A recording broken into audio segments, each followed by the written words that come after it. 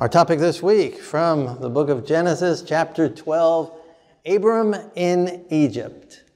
Starting in verse 4 Abram was 75 years old when he departed from Haran.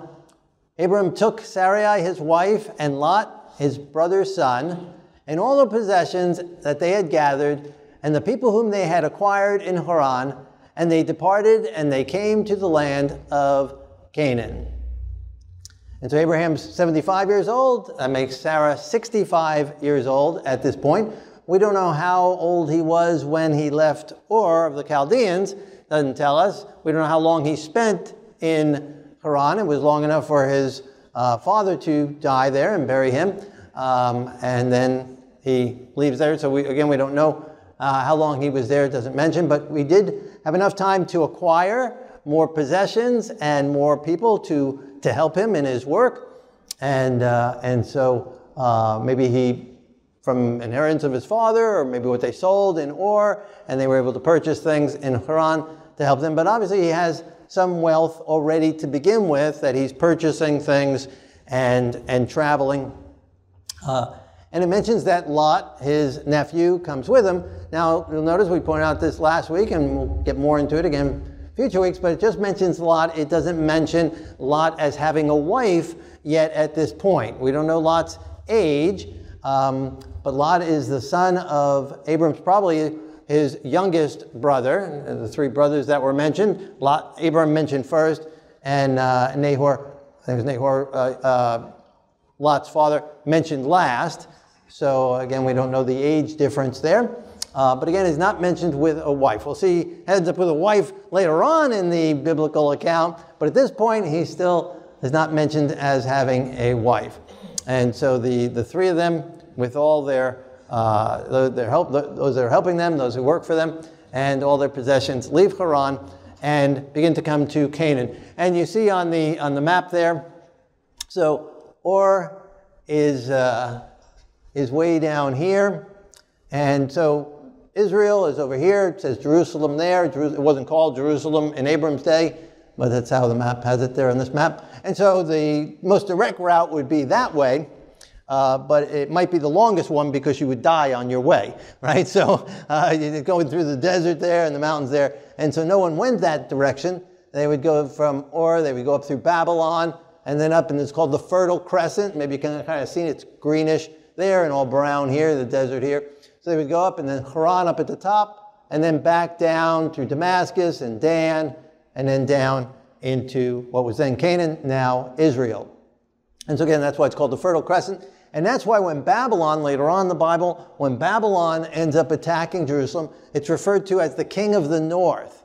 Uh, not that Babylon was north. Obviously, Babylon is almost directly east of Jerusalem as bird flies, but they attacked from the north. And so they're referred to as coming from the north, and the same with Assyria and Syria and other attacks that came uh, down to Israel. They'd come down through, uh, it's now Lebanon, through, again, Damascus area, and then down into to Israel from the north, even if they were coming from the east. Okay, a good little kind of picture view of that. All right, in verse 6, Abram passed through the land to the place of, of Shechem, as far as the terebinth tree of Moriah, Morah, and the Canaanites were then in the land. So he's not going and just inheriting a, an empty land. There are people there, and they're Canaanites.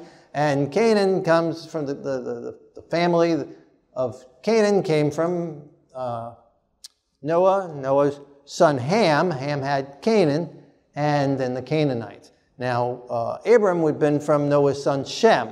So, different family lines uh, from Noah's, two of Noah's three sons. So they come to Shechem, and when they're there in Shechem, verse 7, the Lord appeared to Abram and said, To you and your descendants I will give this land. That is a wonderful promise. I'm giving this land to you and to your descendants. And miraculously, not in Abraham's day, but God eventually did and came out of Egypt.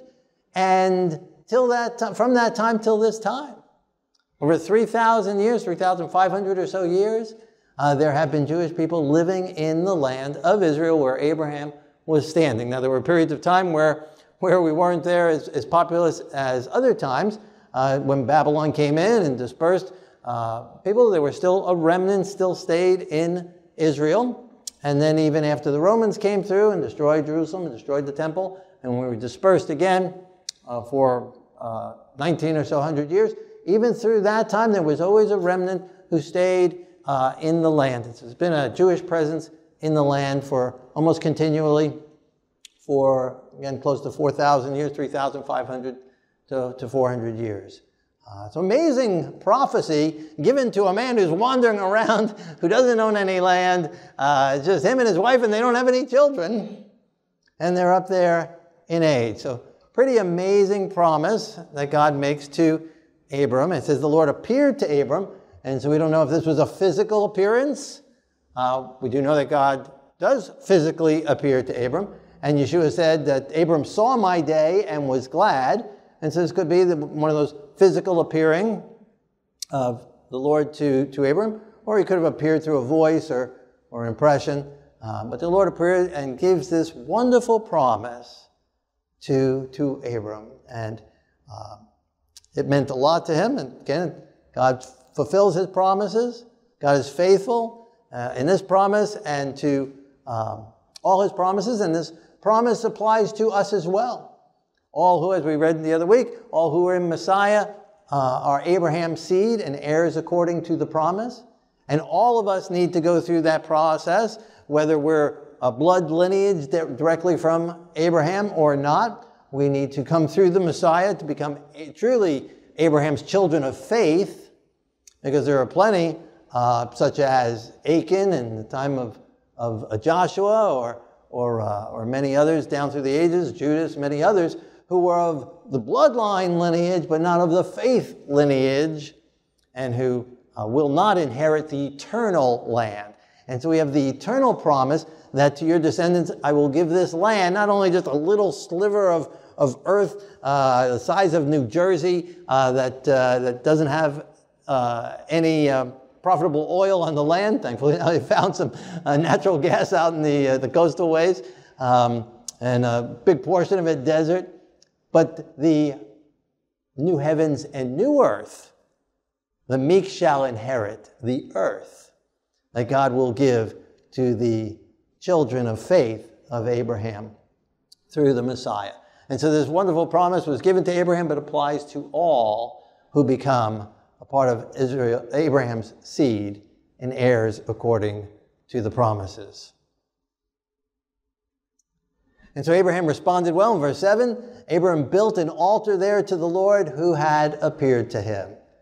And so, no doubt, giving a, a maybe a thank offering, a, a, praise offering to the Lord for this wonderful promise, uh, surrendering his life and de- showing a demonstration and a dedication to the Lord. He builds an altar, uh, offers a sacrifice to the Lord there. And, and that's appropriate when we read God's word, we accept his promises, and and we're thankful for what God has done in our life. And that's why there's all these various different offerings mentioned in the Bible peace offering, thank offering, burnt offering, for various different things forgiveness of sins, but also giving thanks and praise to the Lord and, and furthering His work. And so, various different means and, and reasons and, and titles.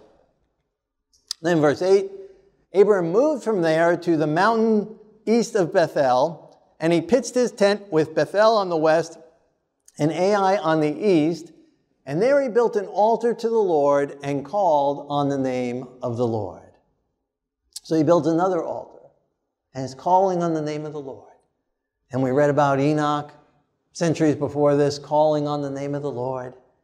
And Seth calling on the name of the Lord. And so Abraham is calling on the name of the Lord, crying out to him for guidance, for direction, building altars, sacrificing, and giving praise towards God and he's on the move, going through the land uh, with all the flocks and herds that he had. He would have had to keep them moving so that they don't eat it down dead and that there's enough for them to continue to eat and water. And so they, they're traveling through, and he's building altars to the Lord, and he's crying out to the Lord and calling out to the Lord. So he went to Shechem and now to uh, near Bethel. And then verse 9, and Abram journeyed, going on still toward the south uh, the word there in south is Negev. It's the Negev desert in southern Israel. And so he kept on journeying through and, and building altars along the way. And there was a famine in the land, and Abram went down to Egypt to dwell there, for the famine was severe in the land.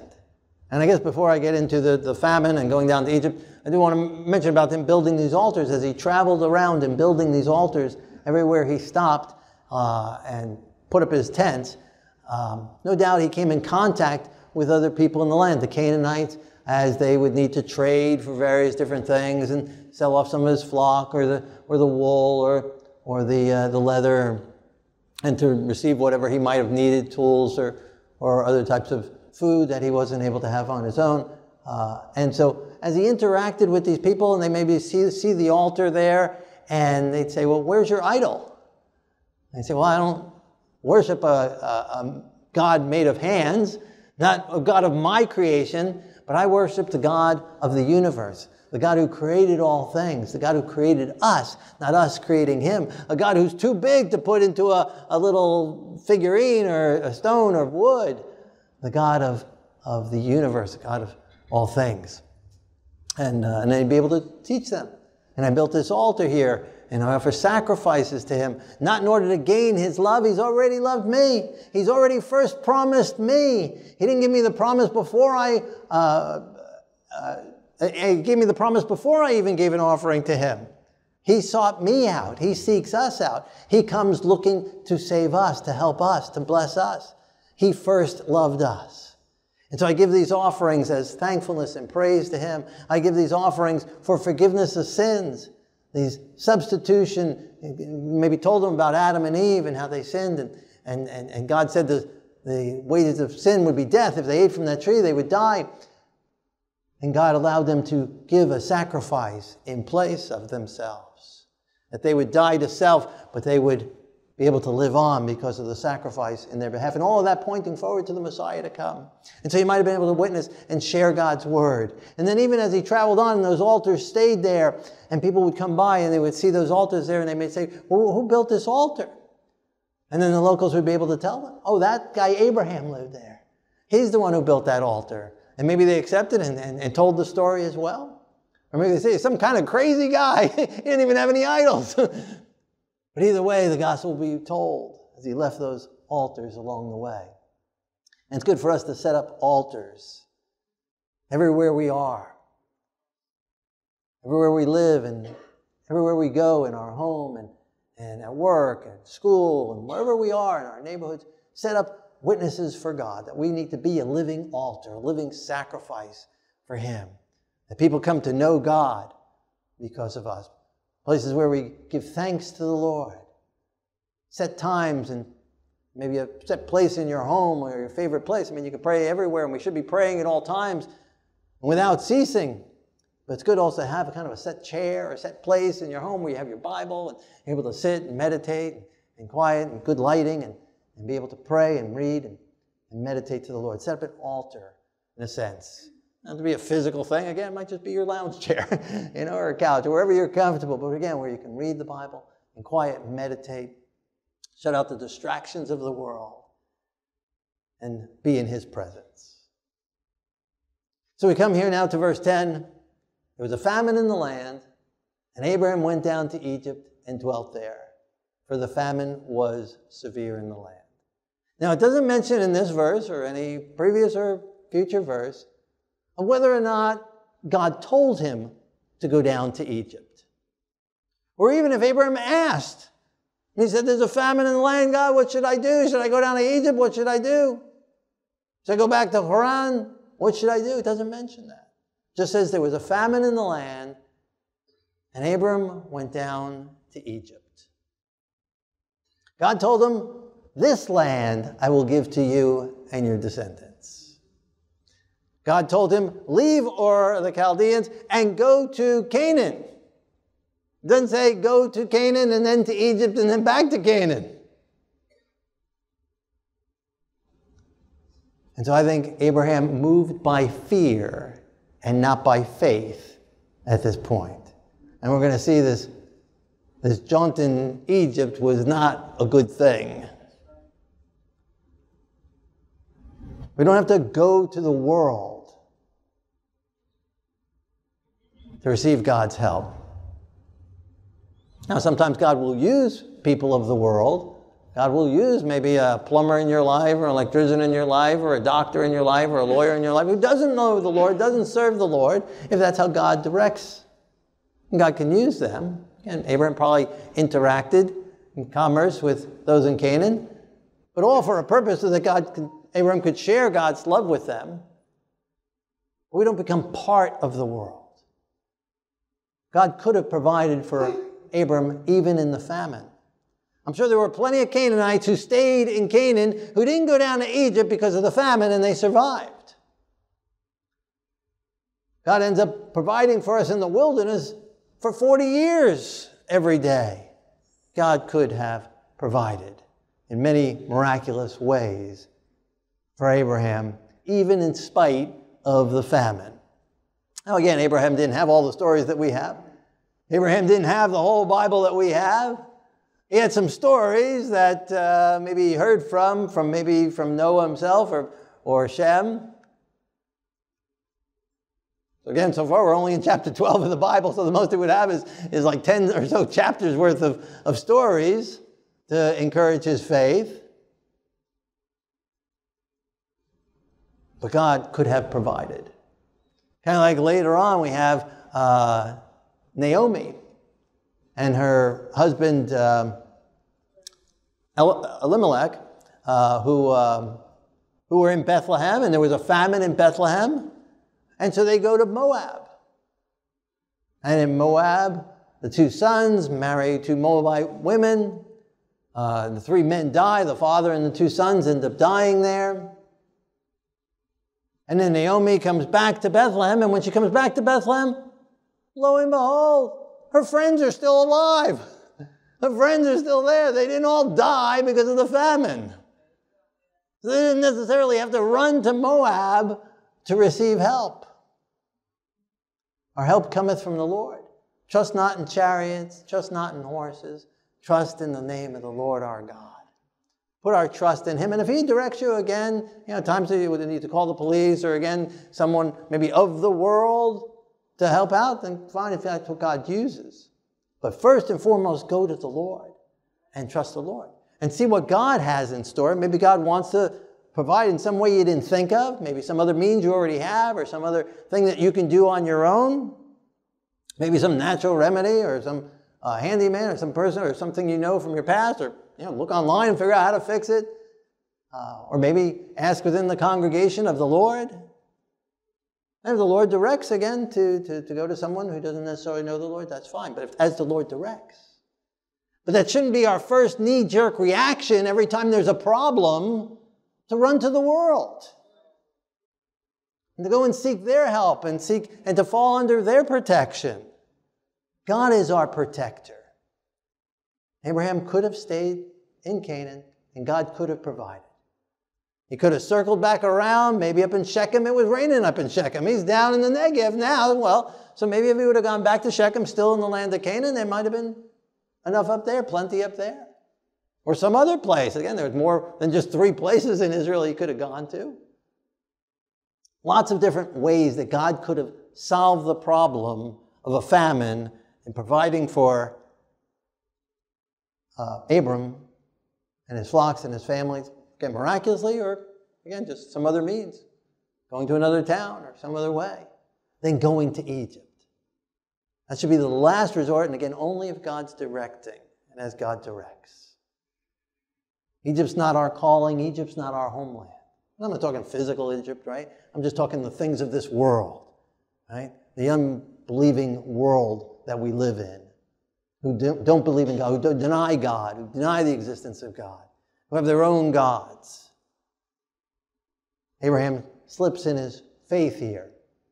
And this one slip then leads to another uh, bad judgment call. So one bad choice can lead to another and down to another and down to another and a spiral path in the wrong direction. And there's lots of people who go down to Egypt who never make it out of Egypt. And again, I'm talking spiritually here, not the physical land of Egypt, Uh, although I was there, like you see in the picture, and it wasn't a beautiful place as far as I was concerned. I have no desire to go back there. But, uh, but nonetheless, uh, uh, there's plenty of people who go into the world temporarily for a job, uh, you know, or, or uh, for various different reasons, friends, lonely, whatever, and don't come back. Never make it out of Egypt. Don't let fear be your motivation. Never be moved by fear. God has not given us a spirit of fear, but of love and power and a sound mind. So if God doesn't give us a spirit of fear, then where does fear come from? The evil one. Right? And so don't be moved by fear. Oh, my boss says that if I don't uh, work seven days a week or work on Sabbath, he's going to fire me. I'm going to lose my job. I'm going to lose my house. I'm going to lose everything. It's going to be horrible. And I or, or friends or influence or fear. If I give back to the Lord, I won't have enough. Don't get fear be the motivation. Oh, if I don't go where there's lots of people, I'll never have a spouse or I'll never make friends. Trust the Lord. And stay in Him. Be in His will. There's peace and there's joy in God's will.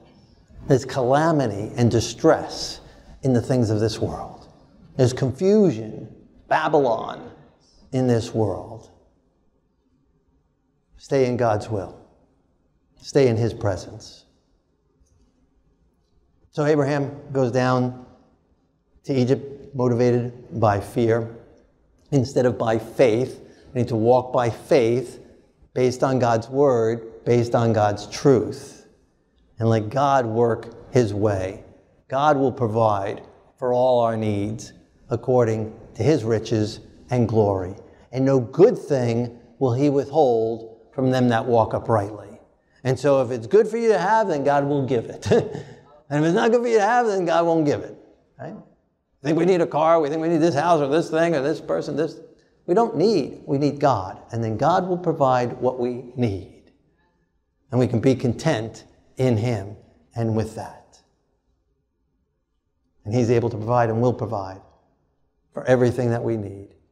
And again, sometimes He'll use the world to do that, but we shouldn't be seeking it out. Like God provided that way. So Abraham goes down to Egypt, and verse 11, when he was close to entering Egypt, he said to Sarai, his wife, Indeed, I know that you are a woman of beautiful countenance. Therefore, it will happen when the Egyptians see you that they will say, This is his wife, and they will kill me. But they will let you live. Please say you are my sister, that it may be well with you with me for your sake, and that I may live because of you. Now, this is very weird. Right? I mean, this is, it's just filled with weirdness there, right? I mean, saying, say that you're, say you're my sister, which was half true because it was a half sister. it was a half truth. Uh, that it may be well with me for your sake. How is that for Sarah's sake? How is it for Sarah's sake that it's well with Abraham?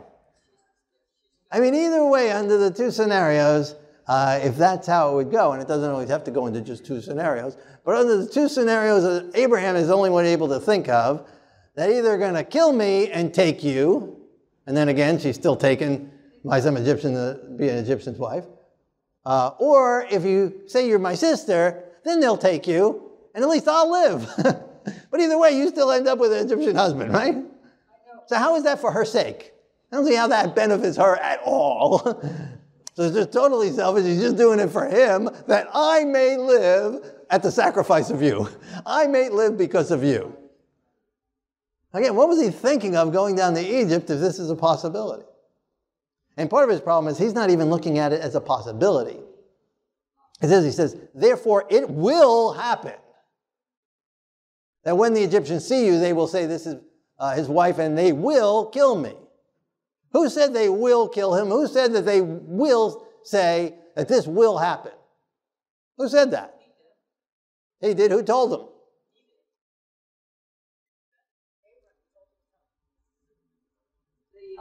God has not given us a spirit of fear. The evil one has planted that in his head. This is what's going to happen. It's going to be the end of the world. You're going to die. You're not going to survive. It. didn't have to be that way.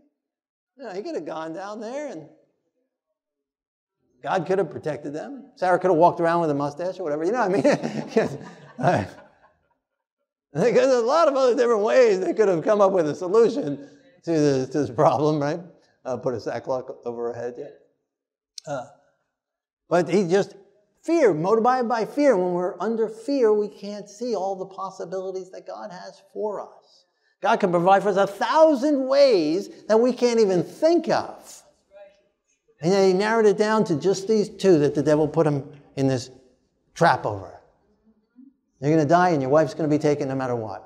And if that's what he was thinking, he should have turned around right then and there and God and all died in a famine. It'd be better to die in a famine than under this situation. If that would have been God's will. And he knows that's not God's will because God promised him, your descendants are going to inherit the land. How is his descendants going to inherit the land if he's given his wife away? Yeah, and, uh, at least, well, he's thinking he'll survive, you know. But, but he won't have his wife anymore. And how's he going to have any descendants? So it's just really sad, but that's what happens. One mistake leads to another. So stay in the Lord, stay in the Lord's will. Don't let be moved by fear and then seeking out the devil for your help. And he says he knows she's a beautiful woman. Now, again, she's 65 years old. Now, she lives to, she's a little over half her age at this point. She lives to 127. Uh, so she's only half, you know, half the age uh, at, this, at this rate. Verse 14. And so it was when Abram came into Egypt that the Egyptians saw the woman, that she was very beautiful. The princes of Pharaoh also saw her and commanded her, commended her to Pharaoh, and the woman was taken to Pharaoh's house. And he treated Abram well for her sake.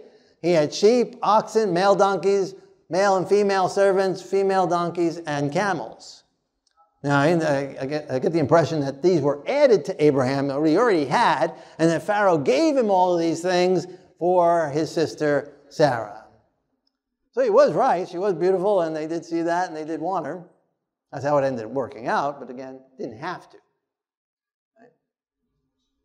He thought that, and maybe as he thought it, and with fear, that's how it turned out, but it didn't have to, even if God was calling him down there. And so, yeah, she was very, they saw that the, the average Egyptian saw that she was beautiful. The princes of Pharaoh saw her and said, she's beautiful. And she's so beautiful that they didn't even think they could have her for themselves. None of the Egyptians thought, well, I could have her for my wife. None of the princes said, I can have her for my wife. They said, she is so beautiful, she can only be for Pharaoh. And they bring her to Pharaoh. I mean, she must have been a knockout. You know, at 65. I mean, she must have been like Barbara. I mean, it was just unbelievable. I can imagine what Sarah was like at 40. You, can, you know, or 30, 20, you know. Whew. You know, Abraham, he knew what he was, getting. How much did he pay for her, right? How many camels did she cost, right, to begin with? Um, so here at 65, half her life, right? So mid midlife, and uh, and she's still being taken by Pharaoh, right to the top. Everyone commending her. She's got to be queen. And so that's where she ends up. And again, that's not a good situation.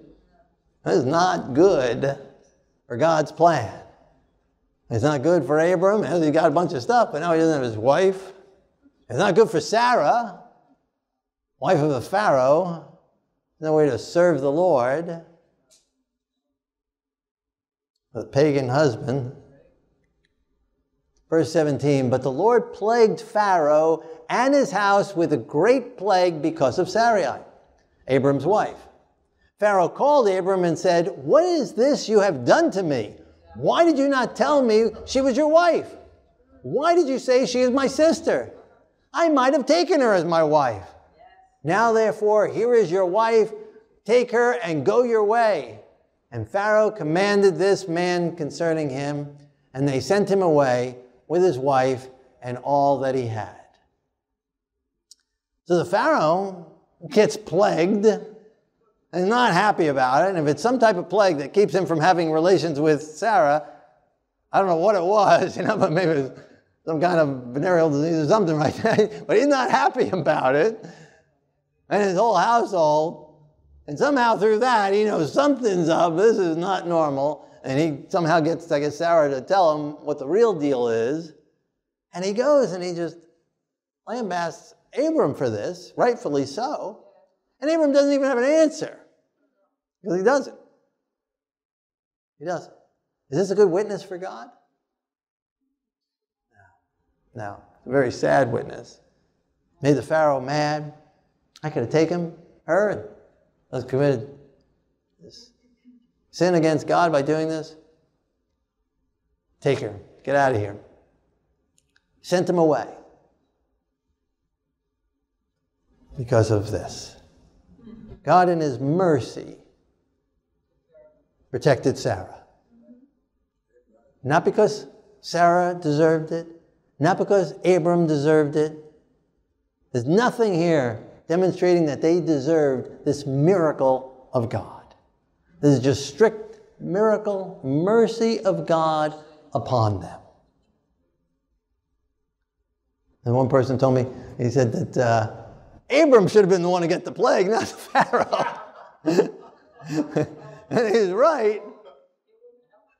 It doesn't make sense, other than God's mercy doesn't make sense.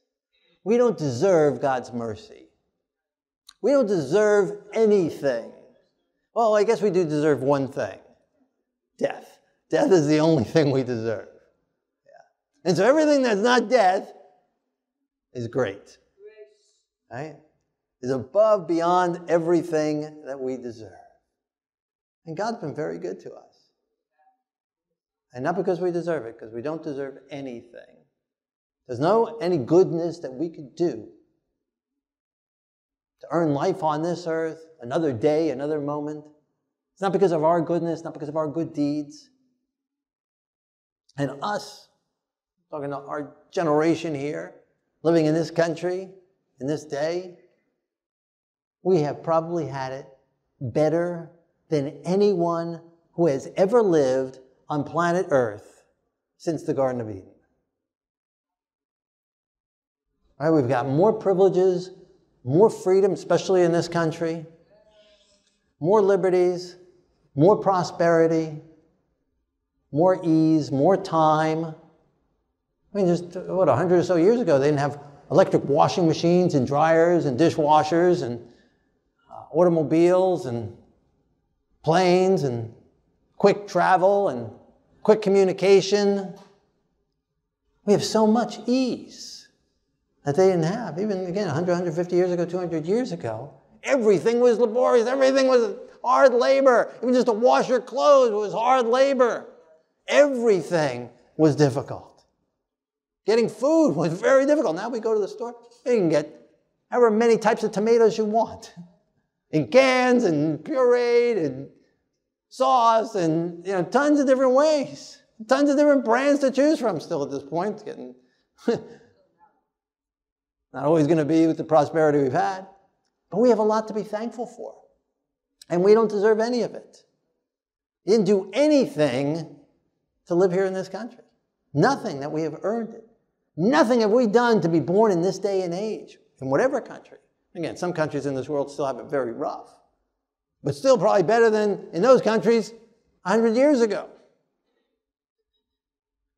The prosperity that we have, the long life, doctors, eyeglasses, dentists, crowns on our teeth. You have to bite on a bullet and, or make you drunk to pull out a tooth. I mean, we got so much. Operations that you know, extend your life that in the past would have killed you.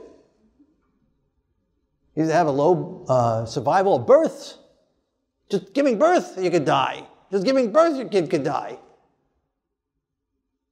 Now, that's an unheard of thing for the most part. We're living in an amazing age, and we don't deserve it. We should give thanks to God continually for all the mercy he has shown upon us.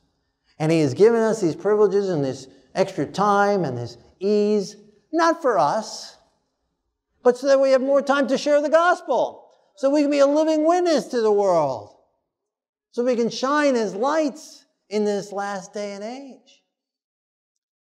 Not use it to get lazy, not use it to just watch more and do less, but so that we have the freedom to spread the gospel. Our access to communication around the world at a touch of a few fingers on a keypad or with your thumb on a, on a piece of glass. Be able to communicate around the world the gospel. And again, the time to do it. That's like we in leisure and watch the Roman Colosseum sports arenas. Not to beat each other's heads together, but to spread the gospel. God has put time on our hands, ease on our hands, longer life, healthier lives, so that we can share God's word with the Canaanites, with the Egyptians, with everybody we come in contact with, with the world, that this gospel will go to the world. And what we don't do in our time of ease, what we don't do in the daytime, we're going to have to do under troublous times, under hardships. We need to be thanking the Lord now, giving praise to the Lord now. Because again, Abraham didn't deserve any of this, and neither do we. And if we think we do deserve anything, then we don't understand God. We don't understand ourselves. And we really don't understand even the elementary of the Bible. But this is what God does. In spite of the mistakes that we've made, and we've all made stupid mistakes like Abraham. We've all put ourselves in troublous ways, and God has spared each one of us from our stupidity. Just driving down the road, we've all done stupid things. In our youth, or even at any age in our life, we do stupid things. And the way we poison our bodies and the things we do to ourselves and our minds, it's the mercy of God that has kept us to this point. We're no better than Abraham. It's easy to condemn him. Oh, he went down to Egypt. Oh, he lied. Again, he had 10 chapters of the Bible in his mind, not even in a book. We've got the whole entire Bible.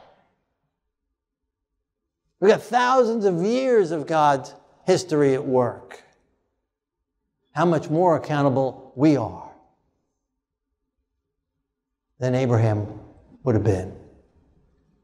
And how many stupider things than we done than Abraham has done. How many times have we stepped into the world for help? How many times have we moved by fear?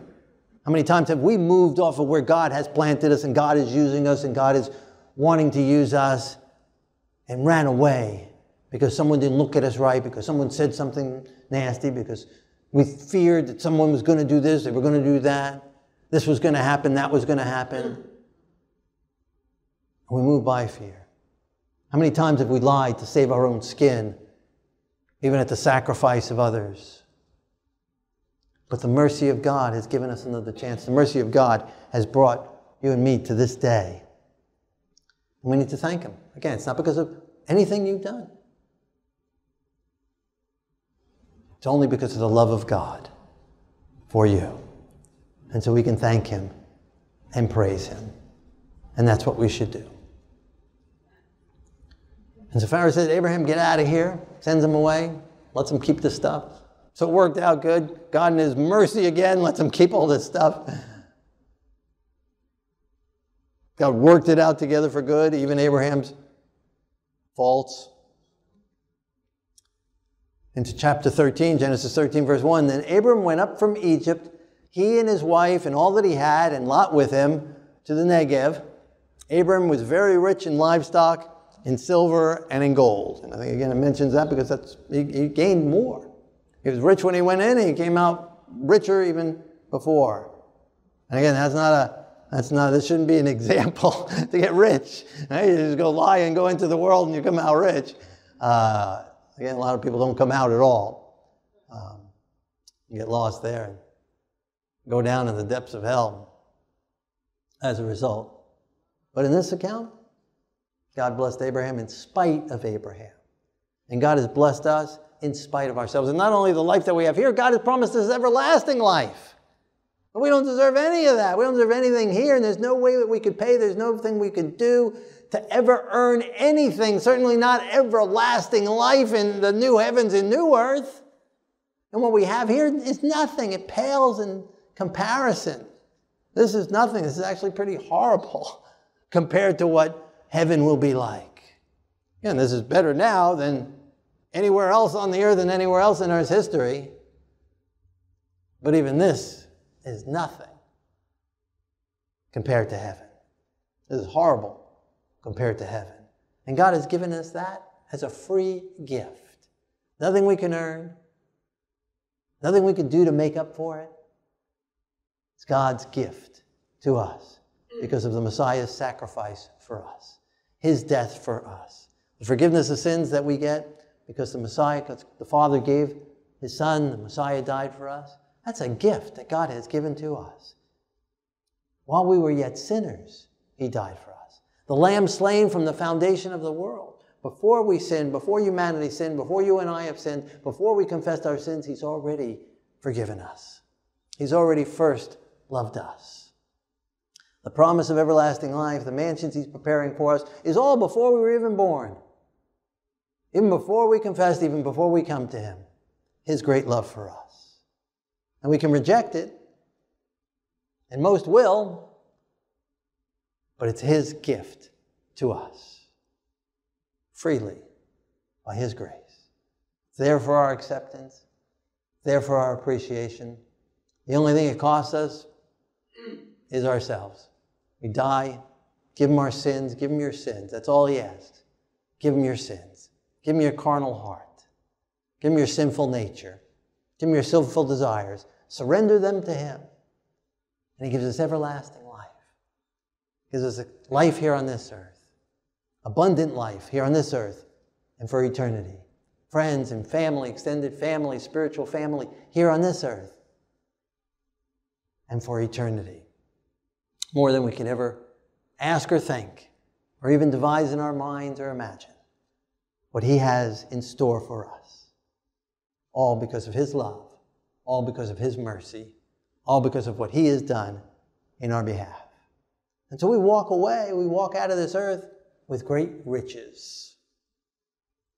And so Abraham leaves Egypt. Doesn't say how long he was there. I can't imagine he was there very long.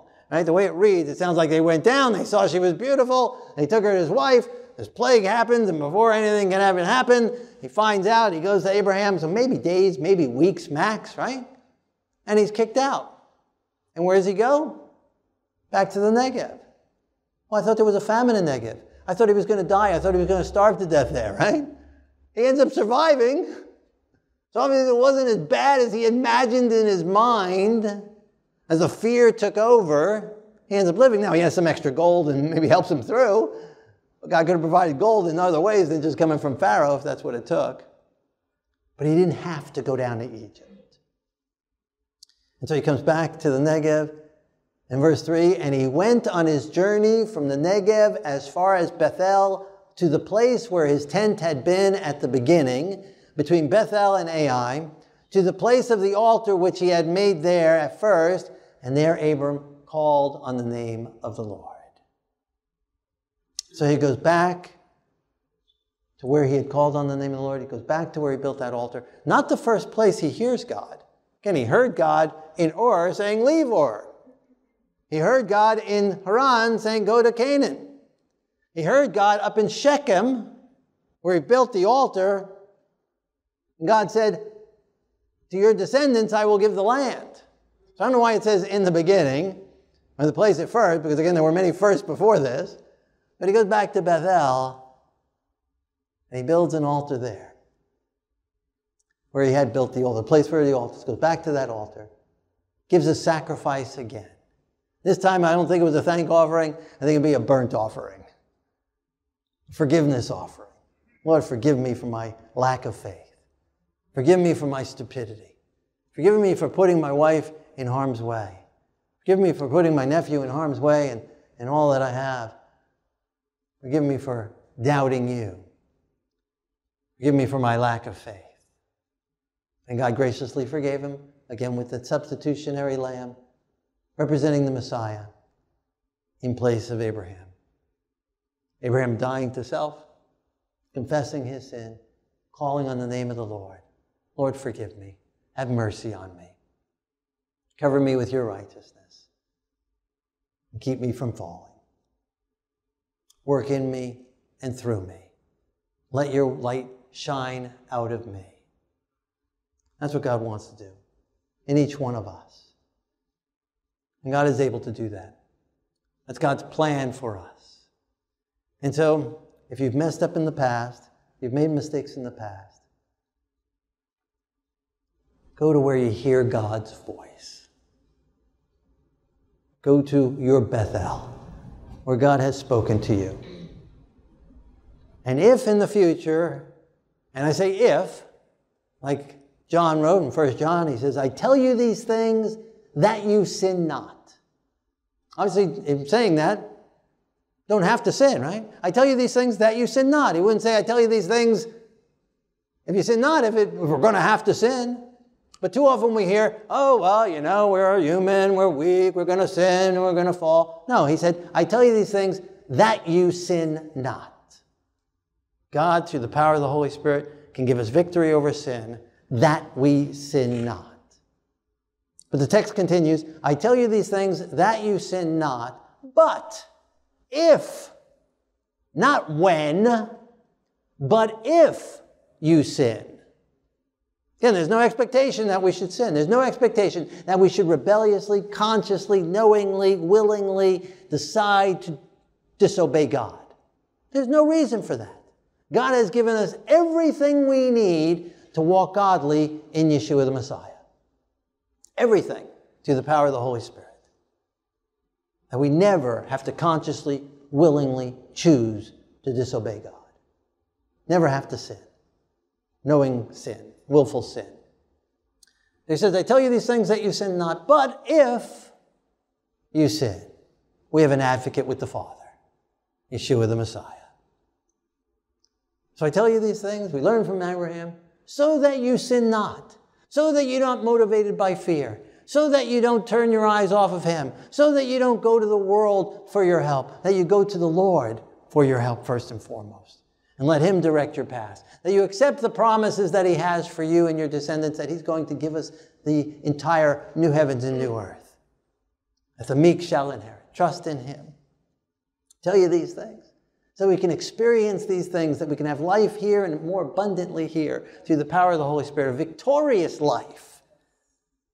Not a life more abundant with more abundant stuff, but life more abundant with more righteousness, with the Holy Spirit living in us and out of us and working through us.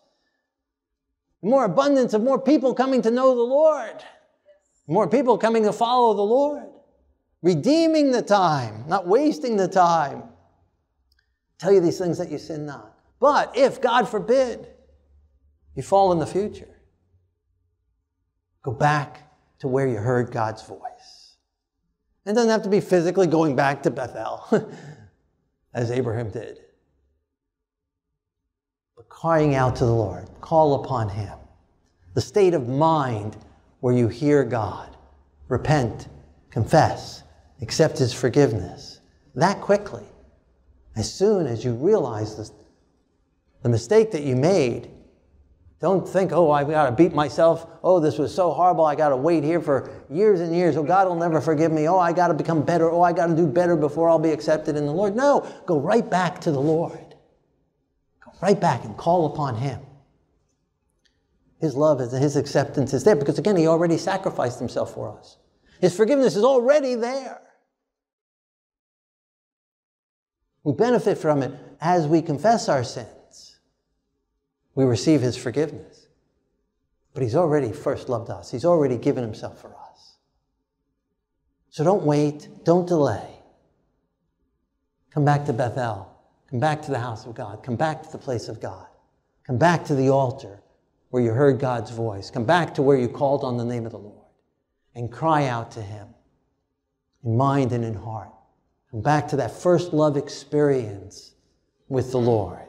And again, that's not as much a physical place as a mental place. We surrender your heart to the Lord.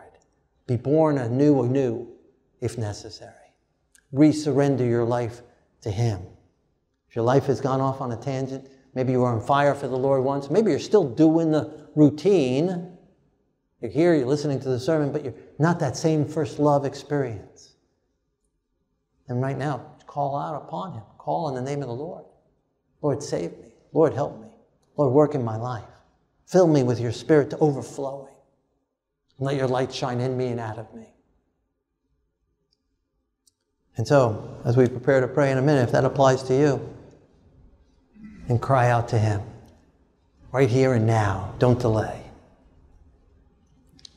Secondly, if there's something from the past, some sin still on your record, some mistake that you made in the past, some area of the world that you went down to, and you haven't given that over to the Lord, then confess it now and accept His forgiveness and His cleansing and His transforming power to keep you from falling in the future, moving forward.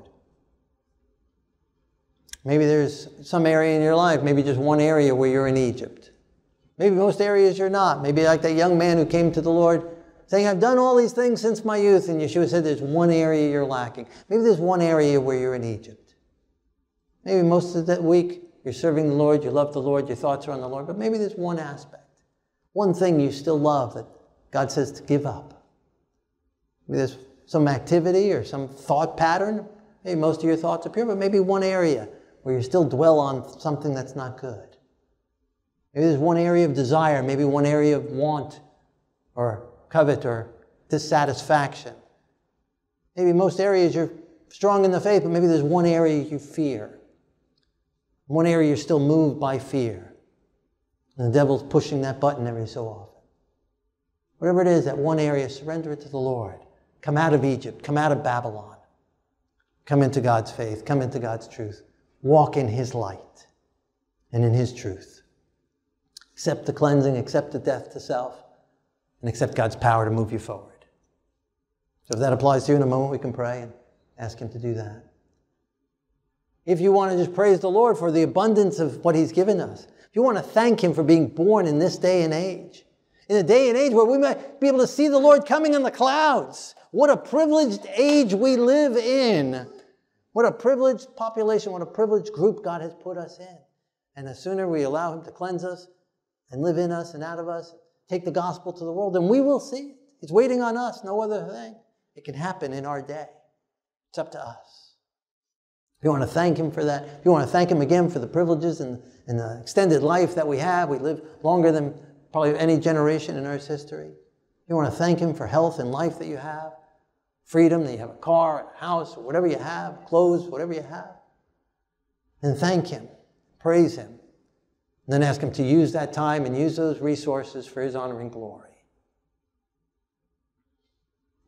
If you want to accept the gift that you and your descendants will inherit the earth.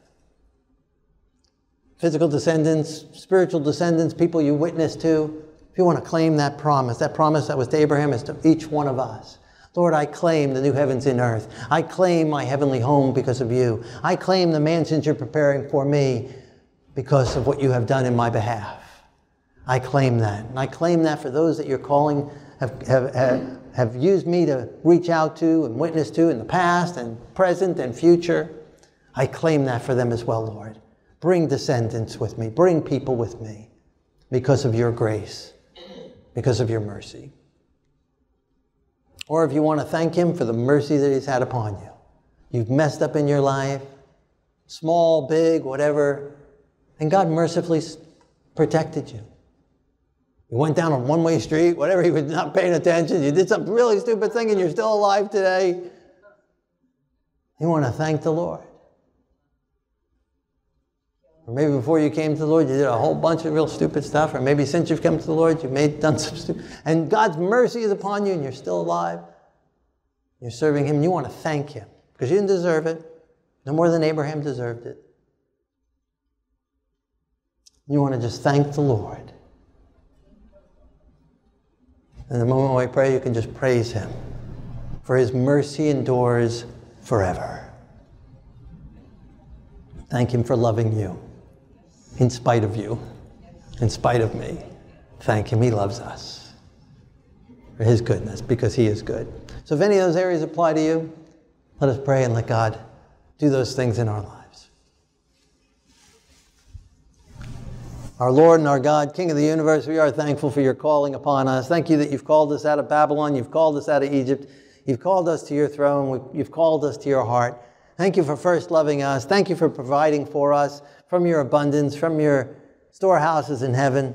Thank you for giving us more than we could ever ask or think. Thank you for giving us life and health and strength, minds and hearts to serve you and to know you, and prosperity in this generation. We thank you and we praise you, Lord. Use us and use this time and use these means for sharing your gospel with the world, with all that we come in contact with. Use us as we move forward to in our lives day by day, wherever we go, gas station, wherever we are, setting up altars for you, leaving tracts, leaving cards, leaving invitations for people to come and know you. Use us, Lord. Use our fingers and our voice in spreading your word, letting your truth be known. Lord, thank you for having mercy upon us and our, the stupid things that we've done in our lives, the mistakes and sins that we've done. Thank you for your mercy that you have not struck us down but have given us more time and more chances and more opportunities because of your forgiveness and your grace and your mercy. Thank you, we praise you. And Lord, for those, any of us that have sin on our record still, we ask for your cleansing blood of the Messiah to wash us clean. Convict us, search us, try us, reveal what else is in our lives from the past or present hold us fast and keep us into the future, keep us from falling, keep us from sinning. Let your light shine from us and out of us. Remove from us all fear. The Lord rebuke you. Satan, you have no right over us. God has not given us a spirit of fear. Lord, fill us with love. Fill us with power. Fill us with sound minds. In Yeshua's holy name. Amen.